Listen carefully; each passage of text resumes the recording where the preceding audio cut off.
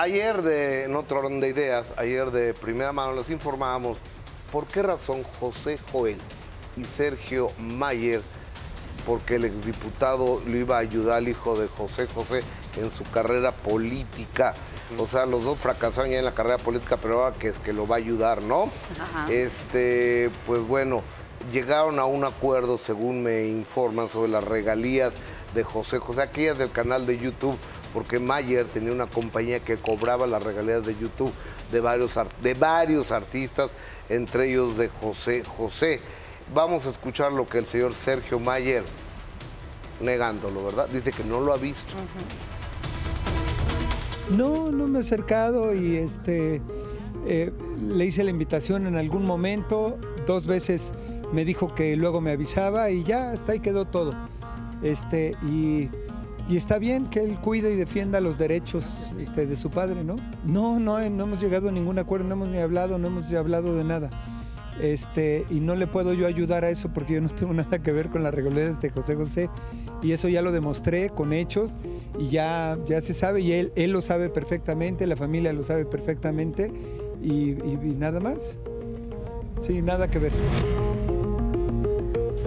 Él ya lo demostró con hechos, pues a- aquí usted lo vio en el día de ayer, como este de- decía Changuito que, que brincaba, que nomás se fue a pasear allá, que le robó las regalías a su papá, dicho por José Joel, no por mí.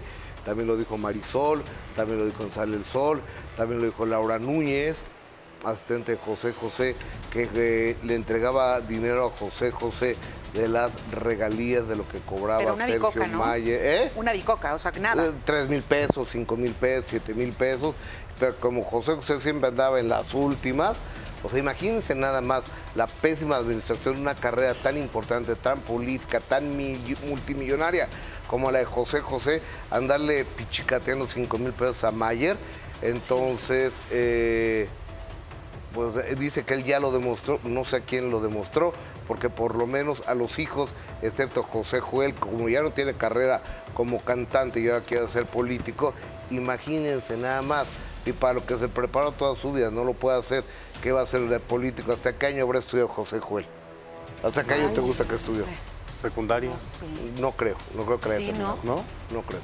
O sea, eh, pero a ver, ahí están negando la relación entre ellos dos. Eh, deja, en la entrevista él deja claro que ni siquiera se han buscado ni... Va- vamos a una cosa, te- tiempo al tiempo. Claro. vienen las próximas elecciones, va a ver cuánto vas a que el día de mañana van a salir con que a raíz de lo que salió ahí en, en ese programucha, eh, la cochina esa de, de primera mano, eh, de segunda mano van a decir, entonces nos ocurrió, ¿por qué no hablamos? Entonces, y, y a raíz de eso, hasta nos dio la idea, entonces así lo voy a lanzar de, de Claro. político. ¿Cuánto van? Y viene también Ok. a Mari Querer, a ver qué tan metido está el señor Sergio Mayer en este en retomar este proyecto que lamentablemente. Ya ves la- el último éxito de Mayer, la de 7, que tuvo una función. No, Dos, dos Ah, dos funciones.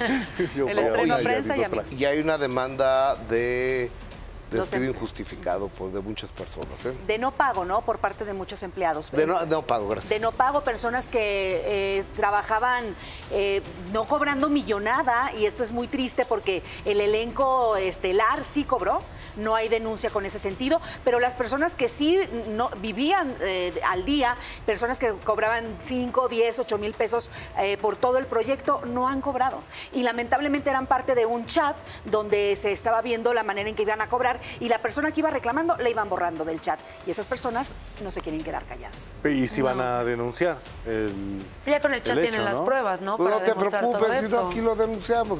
¿Para qué? Sí. A lo mejor. Digo, Sergio Mayer no es la única persona inversión, no es la- el único inversionista, eh, son varias personas, tengo entendido que tres, pero es parte de este proyecto, ¿no? Él se presentó ante los medios como productor, ¿no?